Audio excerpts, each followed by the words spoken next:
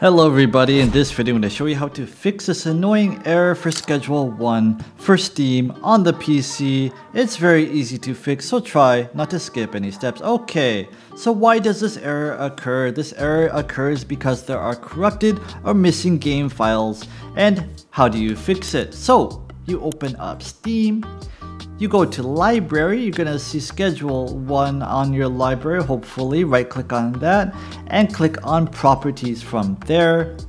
While you're here, I would recommend turning off the Steam overlay while in game. Nothing good ever comes from the Steam overlay. On the left hand side, you're gonna see something called installed files. Click on that. And on the very bottom, you're gonna see verify integrity of game files. Click on that. This will take a couple of minutes to finish but this should fix the issue for maybe half of you.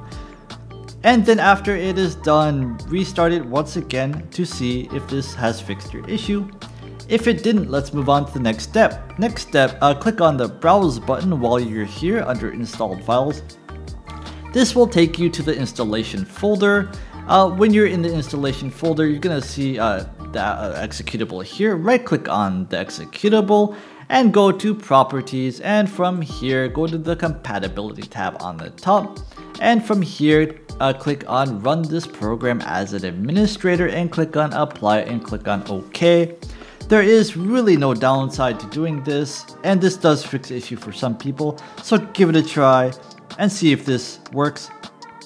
Okay, after you have done this, make sure that you have the newest drivers enabled. Uh, you can click on Windows X and go to device manager. Under device manager you're gonna see display adapters. That's my graphics card right here. You can right click on that go to update driver and search automatically for drivers. Also I would recommend if you have NVIDIA for example getting the NVIDIA app clicking on drivers on the left hand side and installing the newest drivers that does fix the issue for many people okay after you have done that and it still isn't working, I would recommend turning off antivirus. So go to Windows Security, click on that. Scroll down, you're gonna see virus and threat protection and scroll down from here and click on manage settings under virus and threat protection settings. And here you're gonna see real-time protection. Turn this off while playing the game to see if this does fix the issue.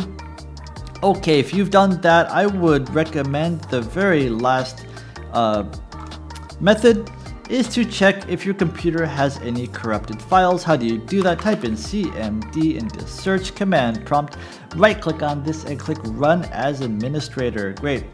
When this black box comes up, type in cf sfc space slash scan now all one word and press enter. This will scan your entire Windows system for any kind of corrupt files and it will automatically replace them. This is very, very useful.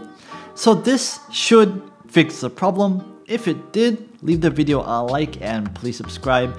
If it didn't, leave the video a comment and I will do my best to get back to you.